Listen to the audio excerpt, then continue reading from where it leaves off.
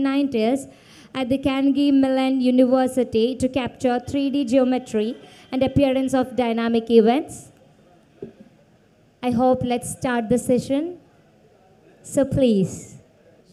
Now, thanks for the introduction. And the topic we are trying to uh, trying to address here is, with all these exponential technologies coming forward, we are looking for a lot of things getting automated, and uh, where the human uh, manpower and uh, uh, muscle power and also the mental power, thinking power is being replaced by machines, either a physical machine or a virtual machine. I think it is in this context that the humans need not apply. That particular video was very viral, much early in 2015s and uh, other things. And a lot more of such derivative videos have come up. Now, I have two eminent people who can talk to you about uh, what this is all about and how things are getting shaped, uh, shaped into in future. Uh, first question, I'll put it across to Narayan sir. So he heads the uh, Triple IT Hyderabad and he has been the director for the last 10 years. So is also the member of uh, the national committee, uh, or rather he chairs the uh, committee on Center of Excellence in uh, AI, uh, India AI. So I would request him to look at what are the visible directions which are already there in this scheme, and also second one is how does he foresee there being a skill gap in addressing this in the conventional education? Thank you, uh, Shankar and the organizers. So, uh, മലയാളത്തിൽ പറഞ്ഞാൽ പോരല്ലോ അല്ലേ അല്ല ഏ? മലയാളത്തിൽ പറഞ്ഞാൽ പോരെ പറയുന്നതെല്ലാം ആരും പറയുന്നില്ല സോ ഈ കാലത്ത് ഇപ്പോൾ A I artificial intelligence is the one that is making a lot of news for good reasons and for bad reasons sometimes. Uh, so what is AI? AI എന്ന് പറഞ്ഞാൽ ഒരു it's a tool that able to automate നമ്മൾ ചെയ്തിരുന്ന പല കാര്യങ്ങളും നമ്മൾ ബുദ്ധി കൊണ്ട് ചെയ്തിരുന്ന പല കാര്യങ്ങളും ഓട്ടോമാറ്റിക്കായിട്ട് വളരെ സ്പീഡിലും തെറ്റുകൂടാതെയും ചെയ്യാൻ സാധിക്കുന്ന ഒരു ഒരു ടൂളാണിത് അത് ഒരു യുനോ ചരിത്രപരമായി നോക്കിയാൽ ഓരോ ഘട്ട കാലഘട്ടത്തിലും ഓരോ ടൂൾസ് വരും. അത് ലോകത്തെ കുറച്ചൊക്കെ ഒരു കാലത്ത് ഒരു വലിയ ആഘാതം ഉണ്ടാവും അതിൽ പക്ഷേ അത് കഴിഞ്ഞ് എല്ലാം സെറ്റിൽ ചെയ്ത് പുതിയൊരു റിയാലിറ്റി വരും. പുതിയൊരു ദസ് നോ വേ അതിനൊരു അത് ചെയ്യാതിരിക്കാൻ അത് നടക്കാതിരിക്കാൻ യാതൊരു നിവൃത്തിയില്ല. ഇപ്പോൾ നമ്മൾ പണ്ട് നൂറ് കൊല്ലം മുമ്പ് കാറുകളും ഓട്ടോ ഓട്ടോമൊബൈൽസ് വന്നപ്പോൾ മനുഷ്യർ പുള്ളി ചെയ്തിരുന്ന അല്ലെങ്കിൽ കുതിര വണ്ടികൾ പോയി കുതിരകൾക്ക് ജോലിയില്ലാതെ എന്ന് പറഞ്ഞാൽ it was you know maybe some people are affected അന്ന്. പക്ഷേ അത് അത് ചരിത്രപരമായ ഒരു അനിവാര്യതയാണ്. അത് ചെയ്യാതിരിക്കാൻ പറ്റില്ല. പക്ഷേ അതിന് പല രണ്ട് വശങ്ങളുണ്ട്. അതിനെ ഇങ്ങനെ ഒരു പുതിയ ടെക്നോളജി അല്ലെങ്കിൽ പുതിയൊരു ഒരു മൂവ്മെന്റ് വരുമ്പോൾ അതിനെ എങ്ങനെ ഉപയോഗപ്രദമായിട്ട് ഫലപ്രദമായിട്ട് നമുക്ക് നമ്മുടെ സൊസൈറ്റിയിൽ ഉപയോഗിക്കാം അഡോപ്റ്റ് ചെയ്യാം എന്നുള്ളത് ഒരു പ്രധാനപ്പെട്ട ഒരു കാര്യമാണ്. അത് നമ്മൾ ചെയ്തില്ലെങ്കിൽ some people will be very badly affected. അപ്പോൾ എ ഐ ഇന്ന് എല്ലാവരും പറയുന്നതാണ് കഴിഞ്ഞ ഒരു ഒരു കൊല്ലമായുള്ളൂ ഈ ചാറ്റ് ജി പി ടി എന്ന സാധനം നവംബർ രണ്ടായിരത്തി ഇരുപത്തി രണ്ടിലാണ് ചാറ്റ് ജി പി ടി പുറത്തു വന്നത്. ഒരു നാ ആറ് മാസത്തിനുള്ളിൽ ചാറ്റ് ജി പി ടി എന്ന് കേൾക്കാത്ത ആൾക്കാർ പകുതി പേര് പോലും ഉണ്ടാവില്ല ലോകത്ത്. സോ അതുപോലെയുള്ള വലിയ വലിയ ടെക്നോളജികൾ വന്ന് നമ്മുടെ ജീവിതത്തെ വളരെ സാരമായി ബാധിക്കുമെന്ന പേടി വരുന്നത് സ്വാഭാവികമാണ്. പക്ഷേ അത് വരുമ്പോൾ നമ്മൾ അത് അത്തരം ടെക്നോളജികൾക്ക് നമ്മുടെ ജീവിതത്തിൽ എന്ത് ചെയ്യാൻ പറ്റും? നമുക്ക് എന്ത് ഫലപ്രദമായിട്ട് ഉപകാരപ്രദമായിട്ട് എങ്ങനെ ഉപയോഗിക്കാം? എന്താണ് അവോയ്ഡ് ചെയ്യേണ്ടത്? അതിവിടെ സെൻട്രൽ ഗവൺമെന്റ് വളരെ കുറച്ച് കാലമായിട്ട് ഈ എ ഐ ഒരു A I mission India A I ഇങ്ങനെ പല പല പല ഉദ്യമങ്ങളും നടത്തുന്നുണ്ട്. പക്ഷേ this technology is always much faster than how governments can move that is unfortunately the fact ലോകത്ത് എല്ലായിടത്തും ഇപ്പോൾ ടെക്നോളജിക്കൽ അക്കാഡമിക്കലി മുൻപന്തിയിൽ നിൽക്കുന്ന അമേരിക്കയിലും യൂറോപ്പിൽ പോലും ഇന്നത്തെ മുൻപന്തിയിലുള്ള എ ഐ ഡെവലപ്മെന്റ്സ് നടത്തുന്നത് കമ്പനികളിലാണ്. Because they are far more agile they are far more resourceful അതേസമയം ഗവൺമെന്റുകൾ ഒരു സ്കീം ഉണ്ടാക്കി അത് അപ്ഡേറ്റൈസ് ചെയ്ത് അതിന് പാർട്ട്നേഴ്സിനെ കണ്ടുപിടിച്ച് അത് ഉണ്ടായി വരുമ്പോഴത്തേക്കും വളരെ കാലം പിടിക്കും. പക്ഷേ that's required because government scheme will be applicable will be available to wide wide range of people എല്ലാ എഡ്യൂക്കേഷൻ ഇൻസ്റ്റിറ്റ്യൂഷനിലും എല്ലാ കമ്പനികളിലും ഉണ്ടാവും. സോ ദ സൊസൈറ്റി ബെനിഫിറ്റ് അപ്പോൾ ഇന്ത്യൻ ഗവൺമെന്റ് കുറച്ച് കാലമായിട്ട് ഇതിനു വേണ്ടി പലതും ചെയ്തു വരികയാണ്. ഒരു ഒരു ഒരു നാല് കൊല്ലം മുമ്പ് ടെക്നോളജി ഇന്നൊവേഷൻ ഹബ് എന്ന് പറഞ്ഞ് ഇരുപത് ഇരുപത്തഞ്ച് സ്പെഷ്യൽ അക്കാഡമിക് ഇൻസ്റ്റിറ്റ്യൂഷനിൽ തീം ബേസ്ഡ് ടെക്നോളജി ഇന്നൊവേഷൻ ഹബ്ബുകൾ ഉണ്ടാക്കി.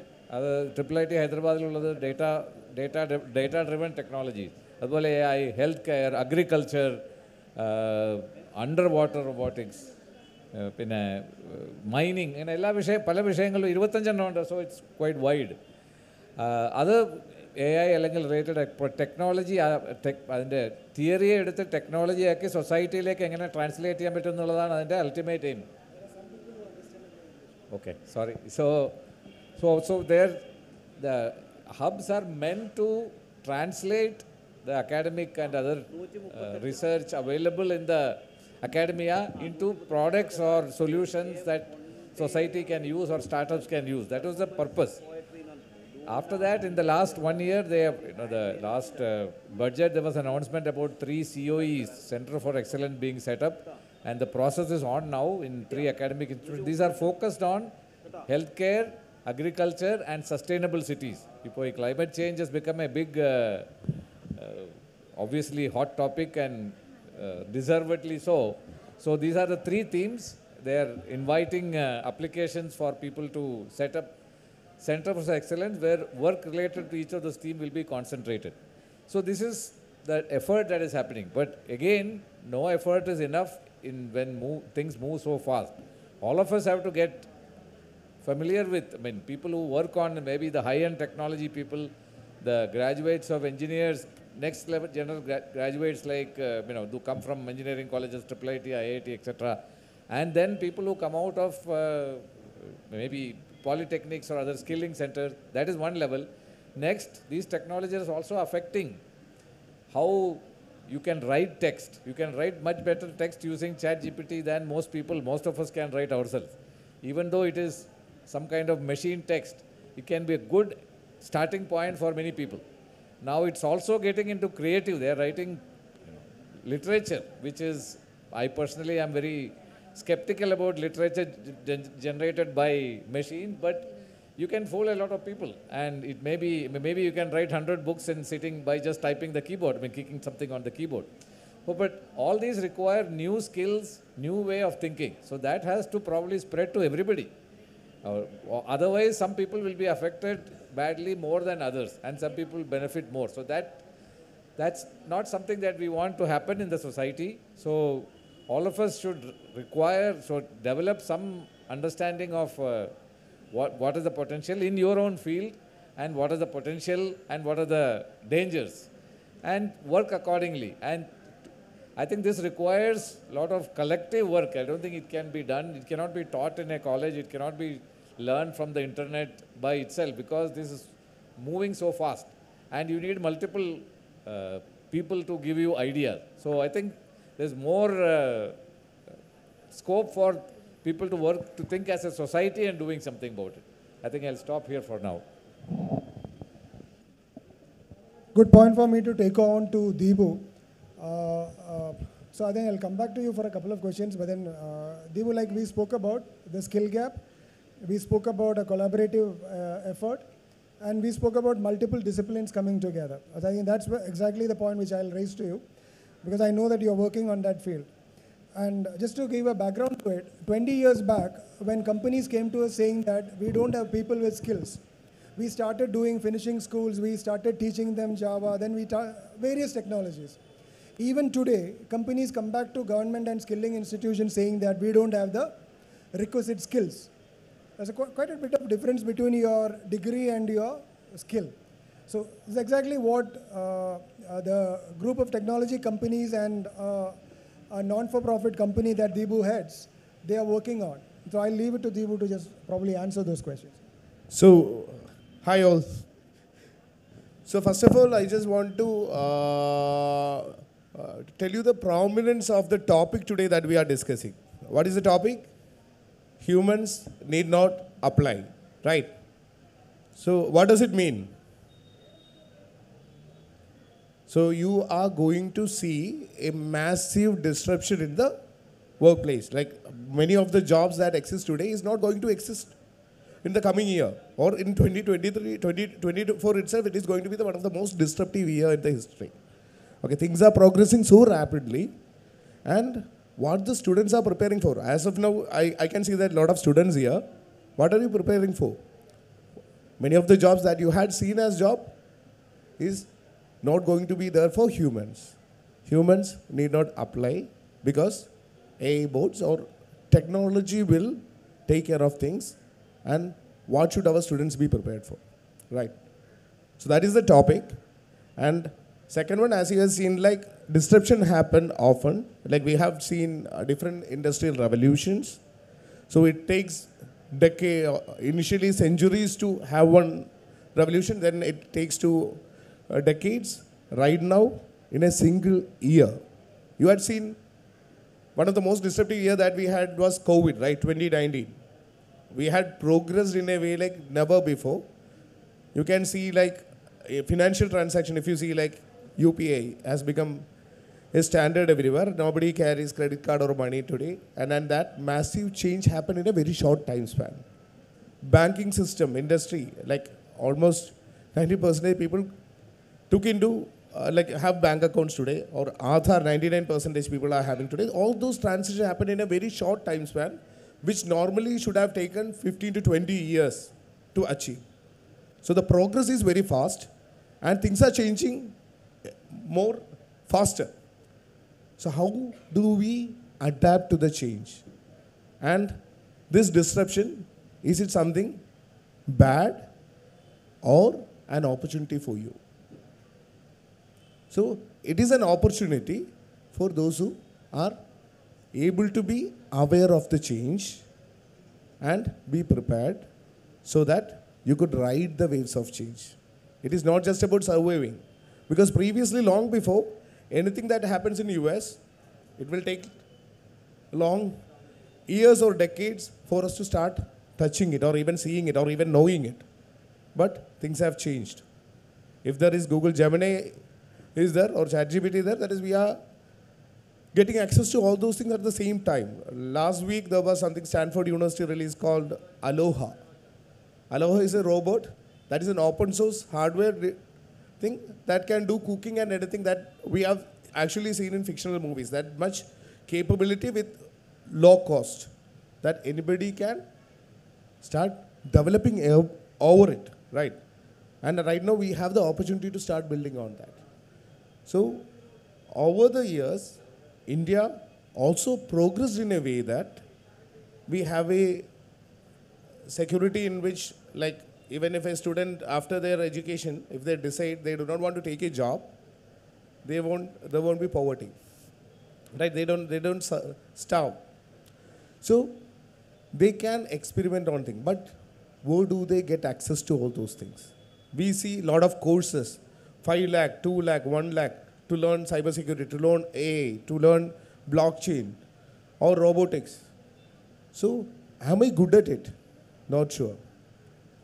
And, and by the time the universities adapt that change, bring it to the syllabus, and make it available to you to write examination for that, things will be changed and new things will come, right? And then you will not be able to catch any bus. Always we talk about missed buses. So what we did is at group of technology companies, it is the consortium of all the IT companies in this Kerala. So I volunteer there as an academy and technology focus group. So I just want to help the students out in uh, accomplishing, learning and connecting to the network of people in the industry to know what is happening around the world. So we started with a small protocol where people from the industry come forward and decide what should be the learning path.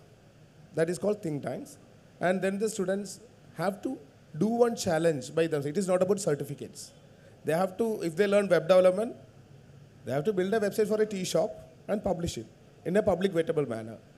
So that value is being created as part of the learning. And then they form small learning circles in the campus. Indi- from individualistic learning, they should be moving towards a collective learning that we can learn together. And there are office hours where they can come and connect with the people in industry. Everything is free. As of today, there is around 30,000 students in the platform. And these students are learning, teaching each other, and building. Building things, and a lot of products are getting built. And companies are seeking after this just because there is an accountability system called Karma Points, whenever they create value for others by going and teaching others or creating a website for a shop, they gain karma points, which act as their accountability system, which can be redeemed or this, which act as the uh, measure of their aspiration towards learning and their perseverance in learning. So what we have done is we created, it is like a gym. It is not a spa. We do not want to have training programs, do certificate and everything.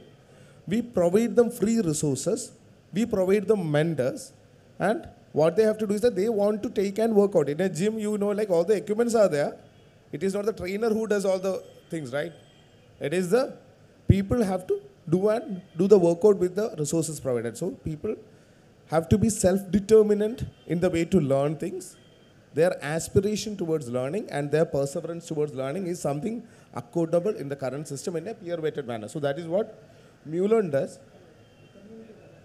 And, and, and, and it is backed by all the communities. Normally what happens is like everyone work in silos. I create one community and then I run the community and we can only do aspiration level things. For example, if you want to do an aspiration level uh, thing for poverty, what we can do is like we can we can uh, do some small collective and uh, give food to some people. But Mulearn is something set for a population level implementation.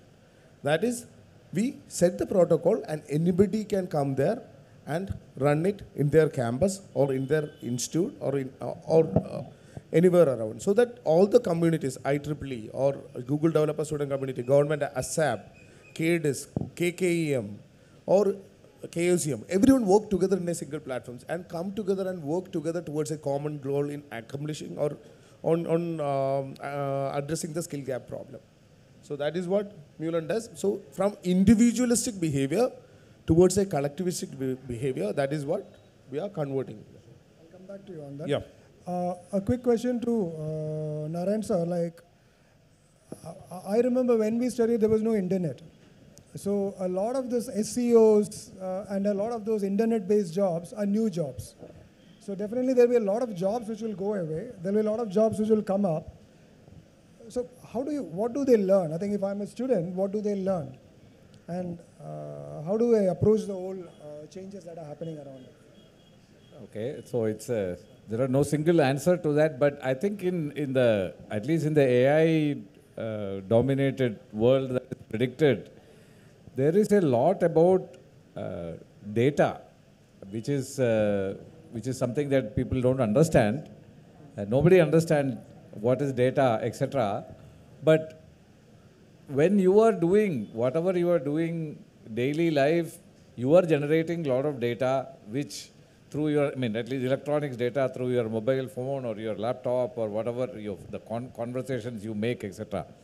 So this data is going, you know, somewhere into somebody's servers and, and, and companies are making, are discovering new ways to, to make, to monetize. I mean, companies are interested only in monetizing.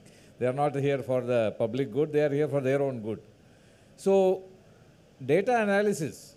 Now, this is a very broad term, but data analysis is something that, uh, that at least students of uh, IT or students of engineering should definitely be familiar with. Now, what that means is data has, you know, there may data may be of, you know, buses running in the city or, uh, or your, uh, you know, household electricity consumption or whatever it is. All kinds of data available. How do you, you know, what are the tools, what are the mechanism to analyze it? So if you want to be in a, you know, if you want to be in a position where you decide on these things, you should learn data analytics or fundamentals of data analytics very caref- very deeply. This involves things like not very attractive things like uh, statistics or algorithms. Across all professions, all domains? If you want to analyze the similar things, but if you want, you know, if you are in the if you are in the photography business, now you should know how you know what are the new technologies coming in in, in photography. And today there are tools which generate text, generate images. How do you use these DALL-E or other uh, image generation tools? How do you prompt it? They call it prompt. It, they don't they don't just generate images. You give something, they give something built on it. So how can you control, you know, what you, how to, how can you get what you want by controlling what you give it as input? Now, this sounds like a very, uh, you know, it's also a creative process in some sense, even though the tool that generates from your prompt, what they call the prompt to the final output, what happens is not clearly known, not publicly announced. But there is, you discover that. So that's another way that if you are in the low level, if you are in the business of creating content, this could be the thing that you want, you want to do. Yeah. Deepu, I'll come back to you because I was told that there's a time for questions. But I, I would like to ask you as to what is there in MuLearn for a photography or a filmmaker. But I'll leave it to the audience for any questions before I let Deepu answer it. Are there any questions up? Actually A I ഇപ്പോൾ ഒരുപാട് വളർന്നുകൊണ്ടിരിക്കുകയാണ്. A I enabled ആയിട്ടുള്ള robots വെച്ച് surgeries നടക്കുന്നു. വാർഫെയറിൽ use ചെയ്യുന്നു. And ഇപ്പോൾ ടെസ്ലയുടെ ജെൻസ് ജെൻ ടു റോബോട്ട്സ് കണ്ടാന്ന് തോന്നുന്നു. ഹൗസ് ഹോൾഡ് ചോസ് കണ്ടത് അതായത് ബുൾസെ കുക്ക് ചെയ്യുക ആൻഡ് എത്ര കണ്ടോ സ്പീഡിൽ വാക്കിംഗ് അങ്ങനെ ഒരുപാട് ഫെസിലിറ്റീസ് ആയിട്ട് റോബോട്ട്സ് വരുന്നുണ്ട്. അപ്പോൾ എന്റെ ക്വസ്റ്റൻ ഇതാണ് എ ഐ എപ്പോഴെങ്കിലും നമ്മുടെ ഹ്യൂമാനിറ്റിക്ക് ത്രെട്ട് ആകുമോ? ബിക്കോസ് എ ഐക്ക് ഒരുപാട് സെൽഫ് ലേണിംഗ് കപ്പാസിറ്റീസ് ഉണ്ട് as to my limited knowledge labelled and unlabelled രീതിയിൽ എ ഐ അവർക്ക് വേണ്ട സോഴ്സസ് എടുക്കുന്നുണ്ട്. അപ്പോൾ ഈ വാർഫെയർ അതുപോലുള്ള ഏരിയയിൽ യൂസ് ചെയ്യാൻ നേരത്ത് ലൈക്ക് അവരുടെ ഇൻട്രാക്ഷൻസ് ഒരുപാട് ചിലപ്പോൾ ടെററിസ്റ്റ് ഗ്രൂപ്പുമാരായിട്ടുള്ള ഗ്രൂപ്പ്സ് ആയിട്ടുള്ള ഇൻട്രാക്ഷൻസ് വരും. അപ്പോൾ അതിൽ നിന്ന് എടുക്കുന്ന നോളജിൽ നിന്ന് എപ്പോഴെങ്കിലും അതൊരു ഹ്യൂമാനിറ്റിക്ക് ഒരു ത്രെറ്റ് ആകുമോ? And one more question is there actually ഇപ്പോൾ കുറച്ച് നാൾ മുന്നേ ഒരു ന്യൂസ് കണ്ടിരുന്നു. ഒരു റോബോട്ട് ലോ പ്രാക്ടീസ് ചെയ്തു ആൻഡ് ആ റോബോട്ടിനെ ഡെവലപ്പ് ചെയ്ത ഫേം ഫൈൻ ചെയ്തു. കാരണം ലൈസൻസ് ഇല്ലാണ്ട് ലോ പ്രാക്ടീസ് ചെയ്തു. ആസ് എ ലോ സ്റ്റുഡന്റ് അല്ലെങ്കിൽ ഒരു ബഡ്ഡിങ് ലോയർ ലോ ഫീൽഡിൽ ഇതിൻ്റെ പോസിബിലിറ്റീസ് എന്തൊക്കെയാണ് if I want to make a career out of it ഞാൻ എന്തൊക്കെയാണ് ശ്രദ്ധിക്കേണ്ടത് I, I would suggest you look at that. Uh, the second question first. Uh, a lot of things in the law field is documentation, Yes. right? And a bot is the best person to do it because it can do volumes of documentation and cross reference, right? Uh, left alone, how do you argue in a court of law is a different issue. So a lot of those things, kind of the back-end work of a law firm is anyway going to be automated. And that can help the lawyers of future rather than because uh, in, in law, it's all about past cases. But in, in, in medicine, it's all about, you know, how people have, what, what record is there. Watson is already doing that. Yes. So, so First your first question, uh, there is a term that today people talk about called AGI, Artificial General Intelligence. In that AI, you know, it'll do uh, recognize images very fast, recognize uh, uh, robot, robotic example ഒക്കെ പറഞ്ഞൊക്കെ വളരെ it's one narrow task it can do very, very, very, very well. It will not make any mistake, it will not get, you know, it will not get tired. പക്ഷേ in a, in, in a, in a environment, how to react, how to connect different things together, and what we call intelligence or what we call common sense, that is not there.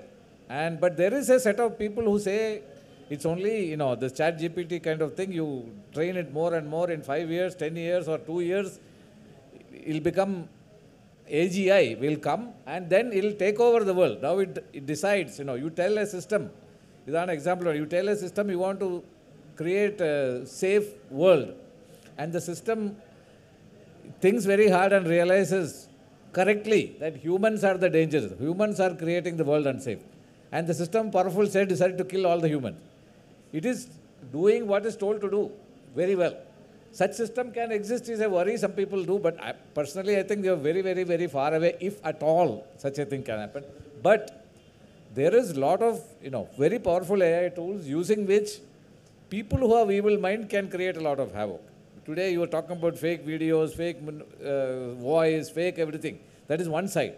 Similarly, how can people be fooled by with you know there is already financial fraud, transaction. These are, you know, people have been doing it. Now these tools can provide them a lot of information and, and, and they can, so AI in the hands of bad people can be very powerful and AI also very low investment entity today.